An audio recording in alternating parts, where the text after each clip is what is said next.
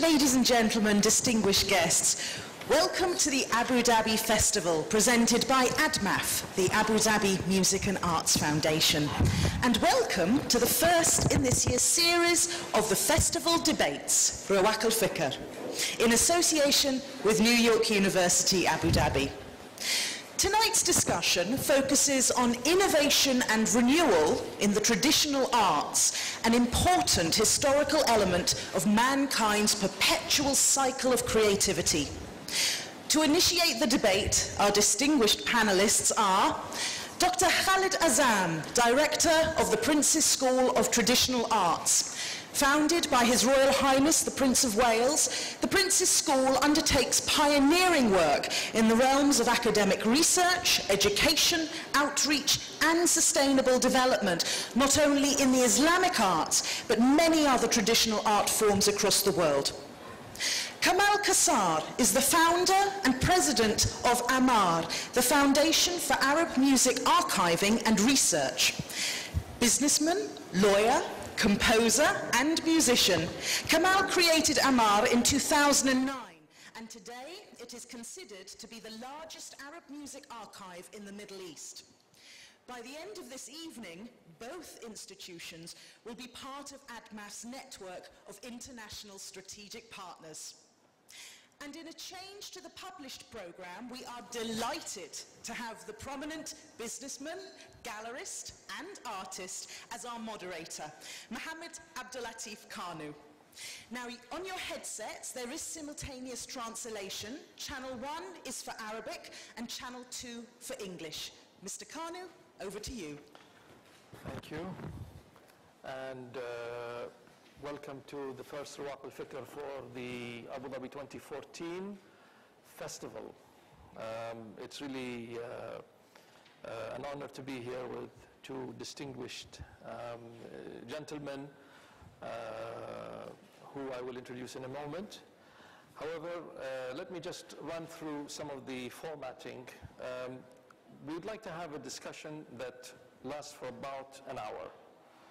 Um, Throughout this discussion, uh, we hope that this will inspire you to write down some questions so that following um, the formal part whereby we are discussing things uh, and, and continuing our discussion that we started out in the garden, which is very interesting. Um, we'll have a question and answer session for about 30, 30 minutes after following the, uh, the uh, first part. So the subject of this panel uh, explores, or it, it, intends to explore, how uh, the traditional arts, both musical and visual, have been characterized by a long history of innovation. Now, I'm, I'm reading from this, so please bear with me. Um, this continues to the present day. It hasn't stopped. Our panelists will consider how the innovations such as musical scales, notation, instrumental design, architecture, design, geometry have played and continue to play a core role in the creation, renewal, and preservation of traditional arts. Um, in keeping with the festival's theme of creative innovation, um, the heads of our institutions, our visitors, are pioneering efforts for the preservation and development of the arts we wish that they will be able to share their insights into the long and living history of innovation within the arts and music, and in particular how it's relevant to us here. Um, the role of traditional arts in society is an interesting and complex one, as we all know. It might be said that traditional societies, architecture, music, visual arts, agriculture, carpentry, calligraphy, and pottery were artistic expressions that fully integrated both artistic and practical activities within society at large. The precious link between heritage and the present day continues to evolve and the inherent skills and knowledge fundamental to these arts form part of this culture, cultural and historical bridge. Um, Lisa already introduced our guests, um, so I would like to get right into it by asking each of them about the tradition. What is traditional arts to you? How do you um, interpret the definition of the traditional arts? Are they frozen in time? Or do they have a contemporary relevance? Let me throw that out as the first question. Dr. Khaled? Um, if I speak as a teacher or an academic, which I'm not, by the way, but I'll try to do that. Because at the Prince's School, we run um, academic programs. We run master's degrees and PhDs, we run postgraduate studies and research and so forth. Um, the first thing we do when we teach or when we try to establish a relationship with teachers, and something we were sharing in the garden outside, is we say we have to define the terminology of what we're going to talk about. Words suddenly mean many things. And the world we live in um, throws images or creates sort of illusions of what these words really mean. And the word traditional or the word tradition is one of the most used words that give you a feeling of would you like a pizza? Would you like a traditional wood-baked pizza? Everybody goes for a traditional wood-baked pizza. so that's, you know, would you like a kitchen? Would you try like a traditional kitchen that's made this way? So somehow, in our psyche, the word tradition has a certain relevance in terms of quality, in terms of whatever. But let's put that aside for the moment. But the way we define tradition is we say each community has its own traditions. It has its own mannerisms, it has its own culture, it has its own way of doing something. And that's on one level. But the way, why we are called the School of Traditional Arts and the way we see tradition, the way we define tradition, and I found the best way of defining it is what the Buddhists call the right way. It's of its time, it is of its place, and it's always of its time and of its place.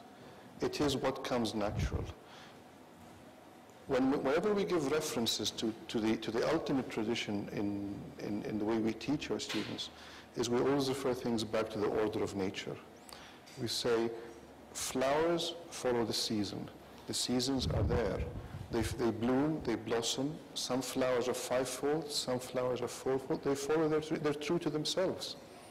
And that's what we as human beings forget sometimes. We follow this, we do this. Or they are true to themselves. They blossom at the right time. Another thing, snowflakes. Nothing that you see around here, but it's a very interesting thing. All snowflakes are sixfold in nature.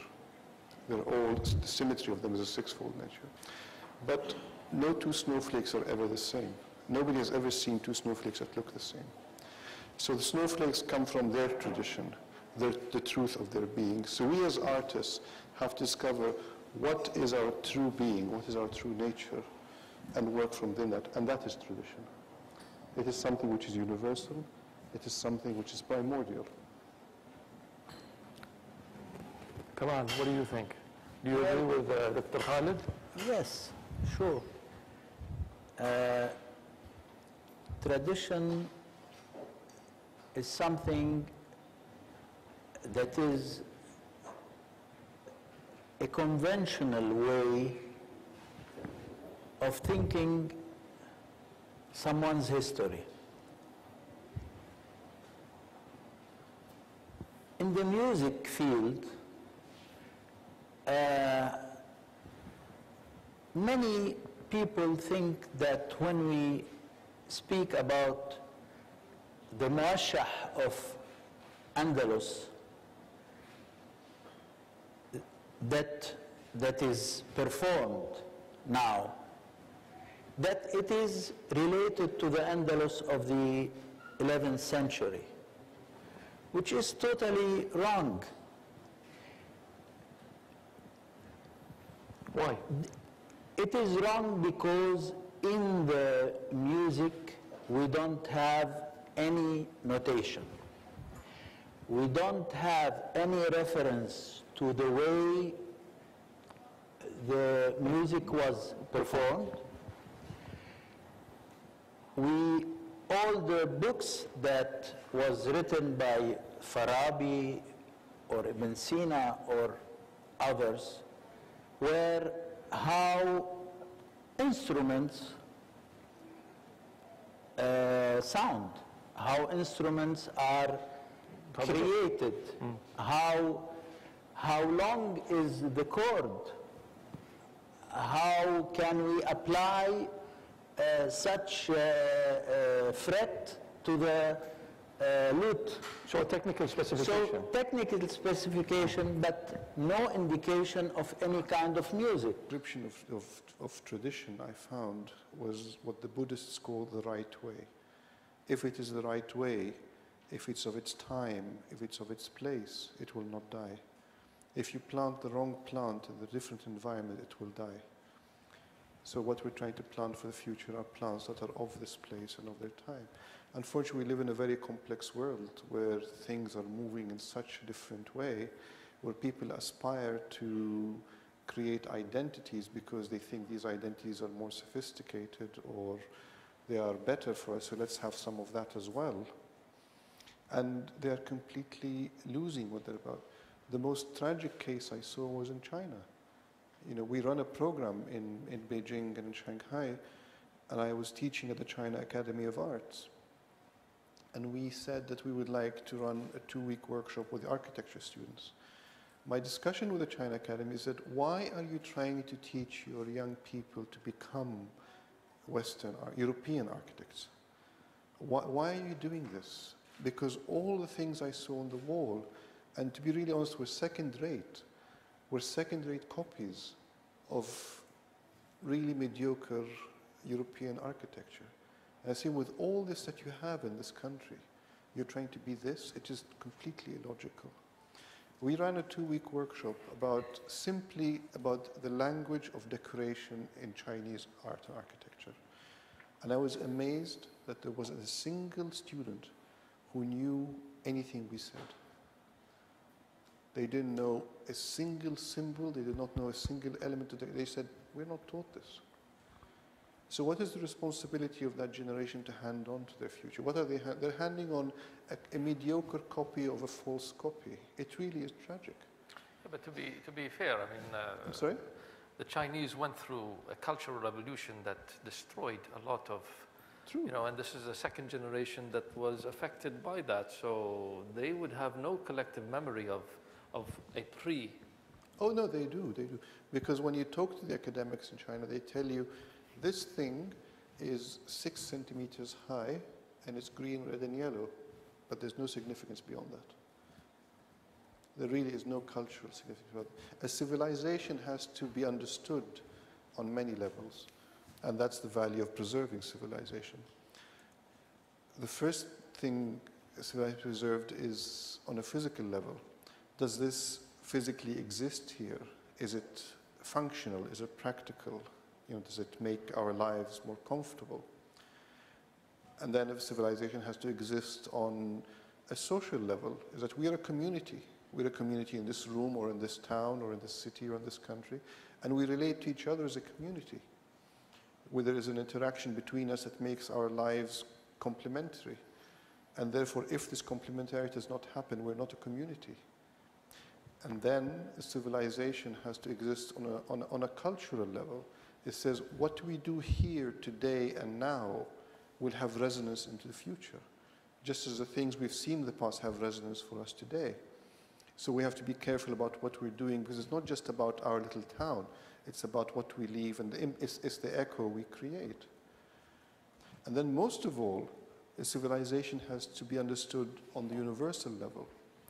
Is how do we fit into this timeless flow of consciousness that has been created in this world for us, which will go on way beyond when we die and was there way beyond when we before, before us. And how do we find the inspiration of what we are by, by tuning in with that, by being in harmony with that? So it's all these complex things. It's not just about a building or, or this. right? It's, it's about how do we see how this.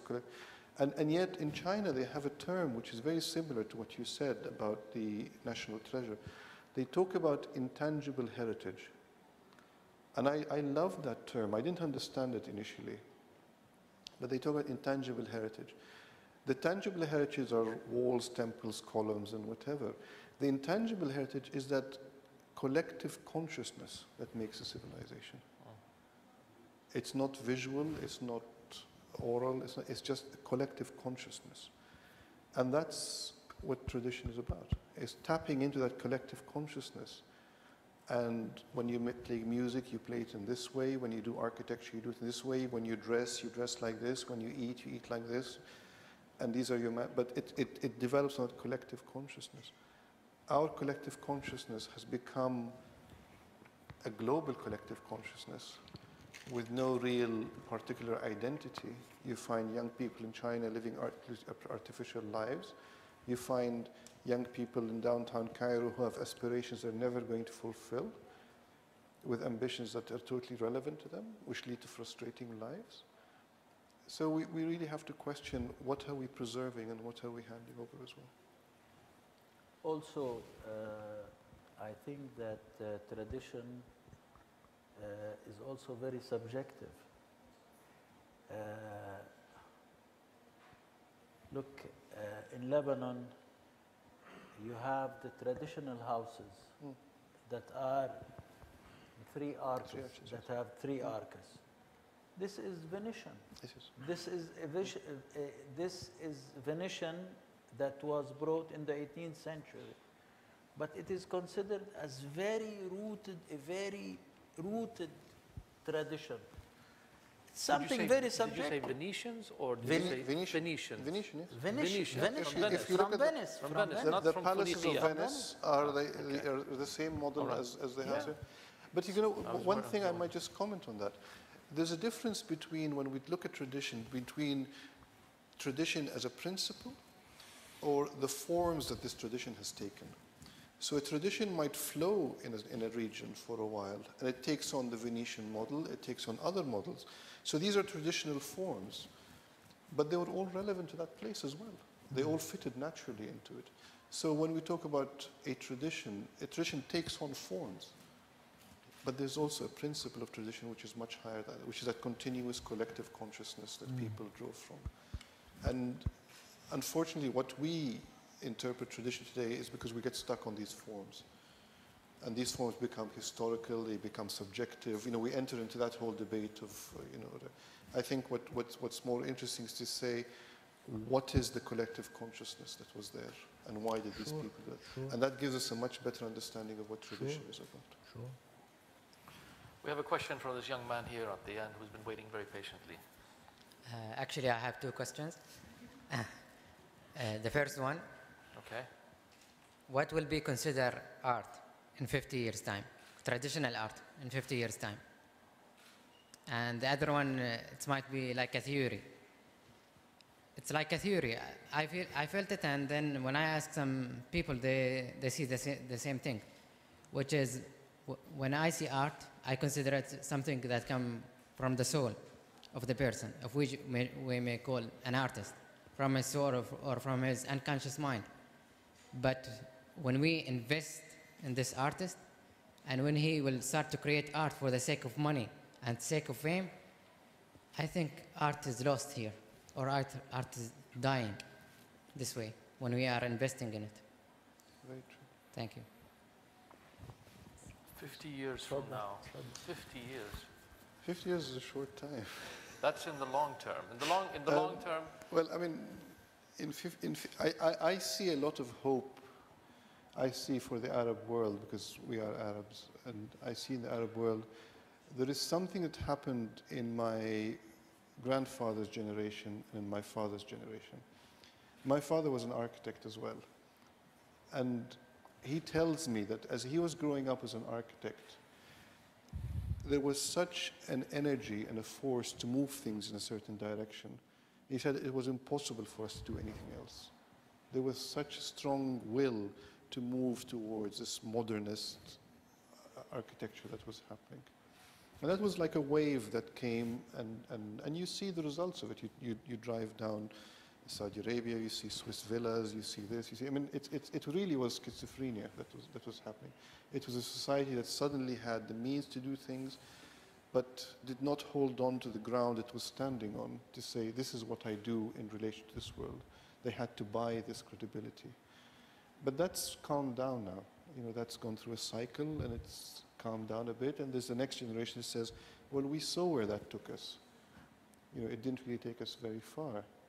And we go back a little bit more and say, And there are other initiatives that are saying, let's go back a little bit more. Let's look at, the, and, and, and the one thing that's going to save young people, which is something that my generation never understood, is this concept of the sustainability of the natural world, is the impact we have on the natural world. And that's something that is a priority for the younger people today. What do we build? How do we build it? And ultimately, what is our responsibility, to this natural world? The second question that you asked is also very perceptive, and I like that question because it goes back to what I said earlier is that what is the intention of the artist? You know, the intention of the artist is not to be a superstar. The intention of the artist is not even a choice. You don't choose to be an artist, you're born to be an artist. You are born with that perception, you're born with that consciousness, you're born with that sensitivity, and it's a great, great responsibility. And if you, if, if, if you follow a commercial initiative, or if you, if you follow a social initiative, you're not following your right inspiration. But that's very difficult. We are human beings, and I, I never judge people on that because we're all under pressure to do certain things at certain times. Ustad Kamal, do you have any comments? Yes. Uh, the view 50 years from now, I think that the history is not a, a straight line. And I think that in history, there is a lot of development and lot, and lot of setback. So we cannot forecast anything. I give you a simple example from my world. A couple of years ago, I attended a conference here in Abu Dhabi uh, about music. And there was a, a musicologist from Nigeria. He made a statement that was, that was shocking. He said that, between brackets, Nigeria is one of the most uh, rich country in uh, music. They have a huge tradition and a big uh, uh, the, the, there was there is a big repertoire of big archives in Geneva of uh, uh, many tribes music. Very very rich. He said that the Yamaha keyboard replaced all the instruments in Nigeria. And that even the people who made the traditional, the, who used to make the traditional instrument are making them, uh, are no more working. So this man was trying to recreate some groups to play the traditional music with the traditional instruments. You see what setback it, it, it, it happened. I mean, nobody can forecast how, how things would be in 50 years.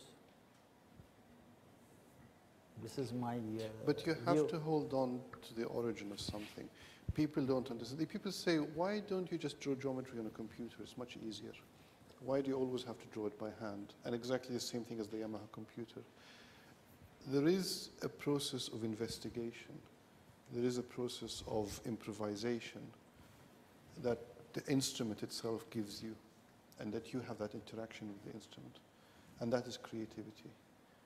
When we draw geometry on a computer, I'm putting an instrument, I'm putting a point, I'm making a circle. I am not interacting. These things are completely detached from me. When I'm drawing geometry by hand, I am seeing relationships. I'm unfolding something that comes from myself. And I'm the one who's in control, and something is speaking to me. I'm not detached from it. When you play music on a Yamaha thing, it is not the same as playing it on one. That interaction is not there, and that's where the art dies. That's that you, you can preserve it, you can write software to do it for you, but that human spark that comes out of that, that creativity dies very, very quickly. And that's a great danger for the future. Mm. These are tools, but they're not creative tools. Let me ask another question. There's, sorry, this lady and then Um, I'd like to ask you about the makamat. Maqamat. Makamat, yeah. Um, is this on? Oh. Um, now, the, the makamat, of course, it's, it's, uh, develops, in, in my mind, I, I associate it with the oud, which is an instrument that has no frets. And so it's actually, the makamat are almost, well, they're impossible to convey with um, Western notation.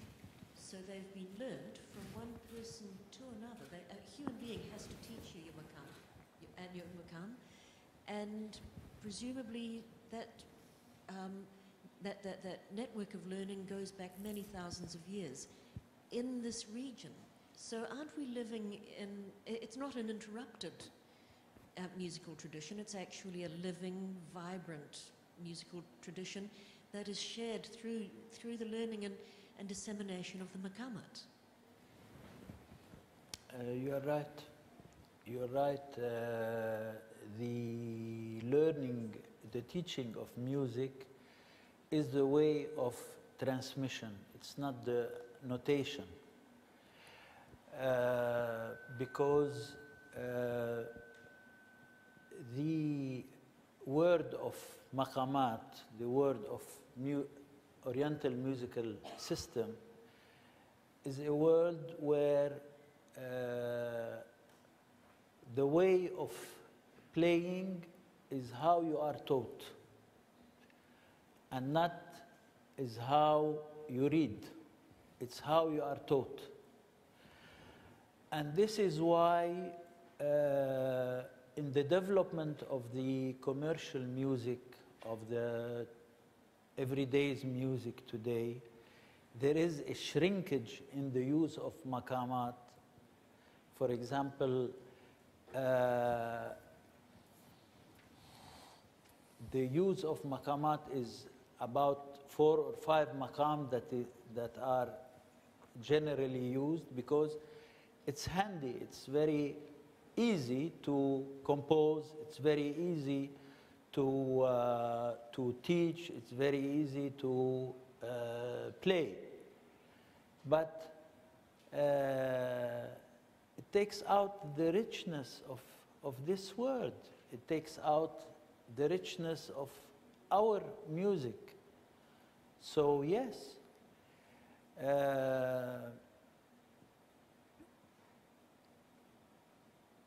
I, I used to learn uh, Nai with my uh, teacher. And some movements, he could explain it to me by playing and by showing me how he places his fingers to, uh, to produce a certain uh, uh, detail. This cannot be read in the book. This should be shown by the, by the professor, by your teacher. And if your teacher is good, you are good. Yeah, sure.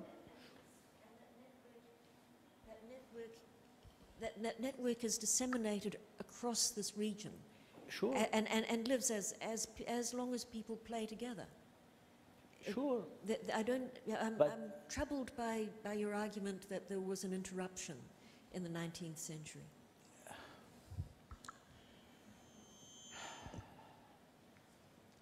Well, uh,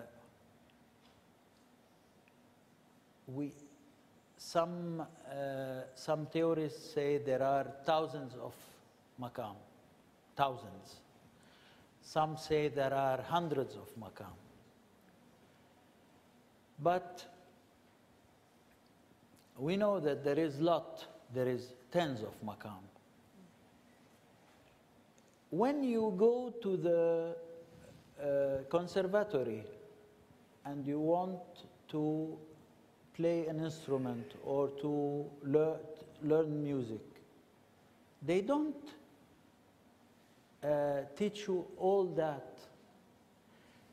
Why? Because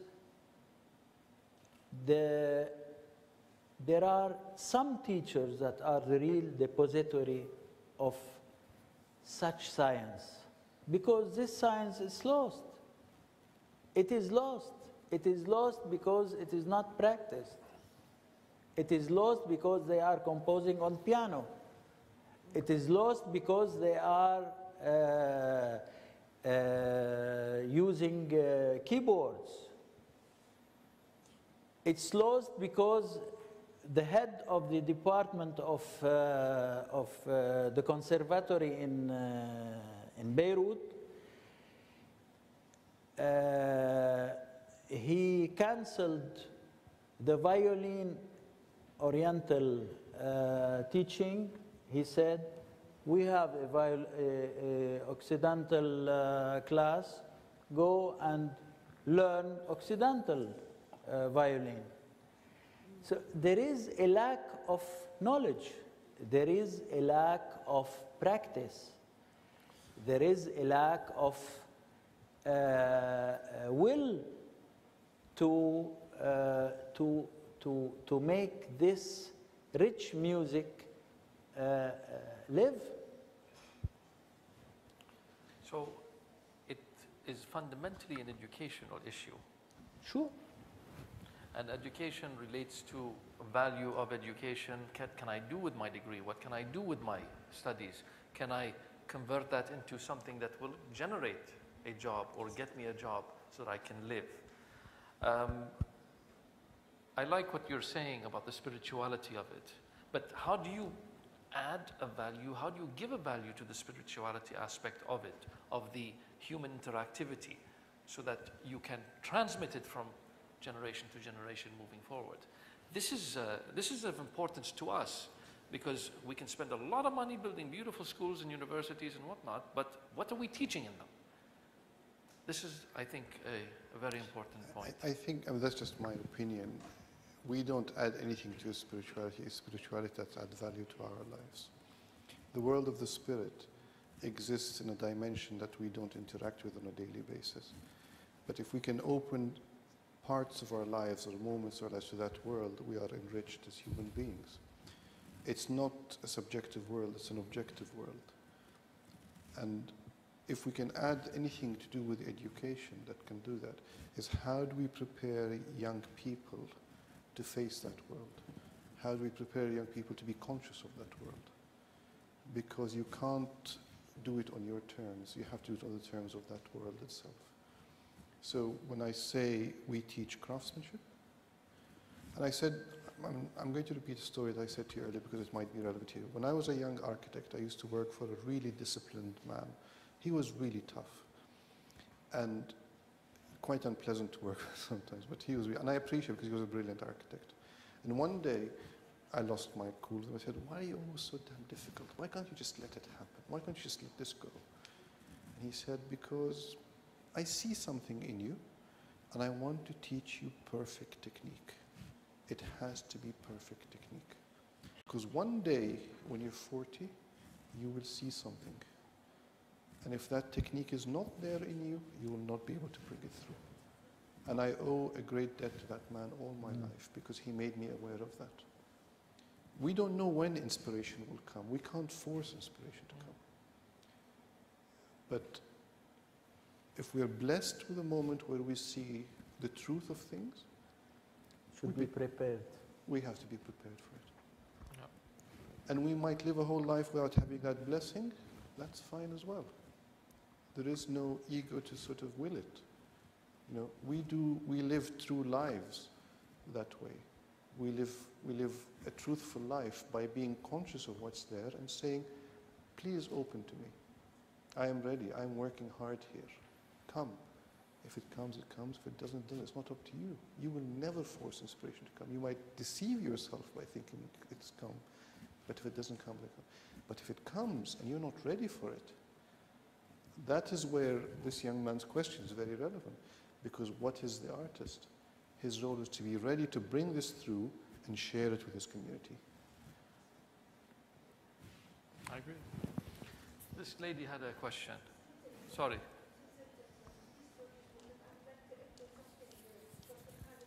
Uh, تفضلي. Thank you. Uh, Dr. Khaled, I would just would, I would like to echo what you just mentioned, what you just uh, spoke about. Mohammed, you asked about how can we give value to all this. I again say it is education. When something becomes relevant to me, it means something to me, it becomes valuable to me. And I would protect it and I will do everything I can to protect the other achievements. You know, achievement of people in Palestine, achievement of people in, in Turkey, in, in, in, in England, because it means something to me. And our when we are talking about, again, what, for your question, it's really, again, the key is education, education, education, Mohammed. Uh, I would like to say something else here. Uh, Dr. Khaled mentioned uh, one of his teachers, the one who was very tough maybe on you, on him, and the same story happened to me when I was studying abroad. I wanted to drop my uh, classical music appreciation uh, courses, and he said, "You don't drop it. Keep it." I said, "I don't. I don't read solfege. All the class read solfege, and it's very hard for me." He said, "You in particular, you don't drop because you have something." And you'll discover it later. And he was right, and he didn't drop it. I didn't, the same when we used to have the uh, uh, art history classes. It was very tough for me. I don't, I, you know, I didn't study art at school. And again, he said the same thing. Once you know the value of what you're doing, you will appreciate it and you'll take it somewhere else. He foresee maybe what we were, but uh, this is what I wanted to say, education, Mohammed. Sorry, I spoke too much. Sorry about Please, uh, last. Uh, uh, this will be the last question unless anyone raises their hand quickly. There's Okay. also, there's This lady and then this gentleman for a final question after that. and there's also sorry, Mr. Khan. And there's, oh, sorry. And then